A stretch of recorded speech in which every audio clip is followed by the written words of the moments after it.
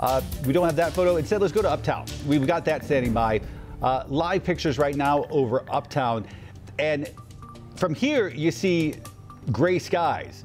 On the ground, you'll see nothing but snow. And you could see some of that snow on some of the tops of those skyscrapers out there. Uh, just a glimmer and glimpse of, of what's out there. Good morning, everybody. Thanks for staying with us through this special edition of Wake Up Charlotte Weekend. I'm Ben Thompson. Larry Sprinkle joining us right now. And Larry, this uh, thing for folks just now joining us at the 10 o'clock hour, um, unfolding much like you guys had predicted. And, and, it's an ice event for a lot of folks. And for folks in the mountains, they're getting some snow. No doubt about the mountains. And here, this is more of an ice situation, not a big snowstorm. Yes, in the mountains. This is West Jefferson. First time we had a chance to take a look. And you can see it's dark there, it's windy, and it's snowing. That's downtown West Jefferson, North Carolina, up in Ashe County. We scanned the skies at Beech Mountain, kind of pan the camera around, show you there's heavy snow up there. They obviously get a lot of snow up there. And we take a look at Boone, where there's a little bit of traffic going on, where the streets are covered in snow. They're expecting probably, they've already had around four and a half to five inches, expecting maybe another seven inches. Add that a couple people on the streets. Well, let's take a look at those tree limbs right there. They're moving. There's a lot of wind. So at the moment, winds have calmed down. But later today in Boone, they're going to see winds gusting over 55 miles per hour there. And more local, we uh, talk about Rock Hill, South Carolina. Once again, it looks like a winter wonderland. That's mainly sleet that has fallen there, a little bit of uh, rain, freezing rain mixing in with that. Here it is for the Charlotte metro area, the entire region. Uh, here's what we're looking at today. Sleet continues right through late afternoon, maybe into early evening. And as far as freezing rain, that's rain. That's the ice that we get. We're talking about anywhere from a quarter to a half an inch possible. The, those higher totals up uh, about a half an inch. That could cause some major, major issues with power outages. And as far as driving, it is very icy. I would say the best thing to do is avoid driving at all today and tomorrow morning as well. As far as power outages, we've already heard reports of that scattered, and that will probably increase throughout the afternoon into the evening.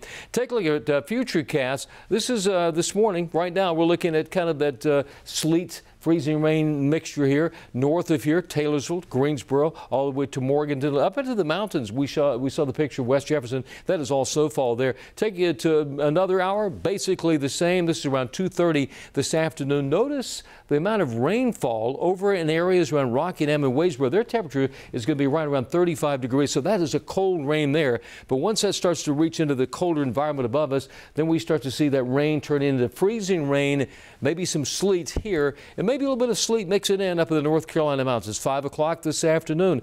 That is more of that kind of icy mix from Statesville to Taylorsville in the mountains, maybe a little bit of a break here. And then we see around 9 o'clock tonight across the area, maybe some light snow, a changeover to all snow uh, from Charlotte to Lancaster all the way across uh, parts of the upstate of South Carolina. First Warn Doppler radar right now. We're looking at snowfall across the mountain communities all the way along the I-40, I-77 corridor up into Virginia and from Charlotte south. That's kind of that mix of sleet and freezing rain and all heavy rainfall once you get down towards Charleston and South Carolina. We'll take a look at the bigger view and you can see that spin from that area of low pressure. So what you see back to the southwest, that eventually has to make it right into the Charlotte area. We kind of zoom in and show you north of here, uh, all the way up towards Richmond, Virginia. They're starting to get some light snow that does even over in that extreme northeastern part of the state, uh, getting some snowfall over there from Raleigh all the way to the western part of the state. Let's talk about the next 12 hours. We're going to be in the upper 20s, maybe a degree above freezing around 5 o'clock this afternoon, but for the most part, it's going to be in the upper 20s to low 30s, and that precipitation continues throughout the afternoon, right into early evening across the area. Here's what we're talking about uh, up towards the mountains, a lot of snowfall up there, anywhere from maybe 8 to uh, a foot of snow, 8 inches to a foot of snow around Morganton, over towards areas uh, maybe around Lenoir, Taylorsville, you could get anywhere from about 5 to 6 inches. And the major issue would be the amount of snow. Uh, heavy snow can hit those, uh, those trees and impact trees as well. You know, the weighting down the, the tree limbs. So you can get some power outages there as well. Not expecting a lot of ice in those mountain communities. It's really the Charlotte area that's seeing a lot more ice. We're seeing that sleet going to mix in with some freezing rain, rain that hits the surface and freezes over. That's going to cause some major, major problems out there. We show you the seven day forecast to show you the variances in temperatures and what's going to happen weather wise for the entire week. Uh, not much more than the low 30s today. Tomorrow morning is going to be one of the biggest issues we're going to see during this storm and that's the ice that's going to cover every single road, every major highway, every secondary road. Uh, if you have to work tomorrow, you may want to try to work from home if you can do that. If not, just say call out. 41 degrees the high tomorrow. I would think that even Tuesday morning, if there's any meltdown at all Monday afternoon with some sunshine, look at that temperature 20 degrees. That's uh, Tuesday morning. That's going to be another issue of black ice. I think by the afternoon things improve. We're up to about 50 degrees, a balmy 50 degrees midweek. Could be some rain around the area Thursday. And take a look at Friday. The potential for another little wintry mess on the way to the area. Ben? All right, Larry, thanks. Uh, folks, we have got our crews um, spread out all across the Carolinas. Let's go ahead and turn it out to Shamari Morrison. She's live down. Uh, down in South Carolina. Uh, so this is the first time we're checking in with you this morning. What do things look like where you are, Shay? Well, I think people have taken those warnings about staying inside if you need to very seriously. We were driving up here from North Carolina. Um, the highway was a pretty smooth ride in. You can tell that people um, were heeding those warnings. Again, we even saw some trucks that were trying to clear out that snow. Now, those ramps to get on and off the highway, those weren't cleared as much. But like I said, there's not many people out on the road. You can even see the coat of snow um, that's still here. That means that it hasn't been driven through. So again, people are heeding those warnings. Uh, we still feel these pebbly rocks just coming down on us, that wintry mix coming down. We have a few cars that are here at the gas station, but right now all is well. Um, we didn't see any accidents coming up, but you know, the further out you go, you might see some things, but if you stay off the road, do so. Um, a lot of these stores around here are also closed, but I can tell you this much, we're right by a hotel and there's a lot of hotel parking lots that are, you know, pretty full, so that means people are trying to keep it inside. And we'll continue to kind of track what the conditions are out here as well. Shay sounds good. You know what, folks? Here's the deal. We've got Shay. We've probably got uh, more than a half a dozen other reporters out in the field trying to assess the situation. But one of our best tools is you, the, the folks at home. You you can give us a good idea of what you're seeing on the ground. So uh, send us your photos. Let us know what you're seeing outside uh, your back door. We've got some photos we're going to show you. So far, more than 800 people um, have sent us photos. I think we're going to go to these photos. There you go. Um, sending us photos uh, uh, of folks watching Larry a Kershaw. I mean, any good weather watcher is going to include Larry in their in their regular habit, especially during bad weather. Uh, seeing lots of photos of dogs out there enjoying it. But as I've said this morning already, folks, this is the this is the pretty part of the situation. Um, for a lot of folks, this is going to turn a, a, lot more dangerous in the, in the hours to come and into tonight and to tomorrow morning. But just seeing some great photos from Mountain Island Lake as well.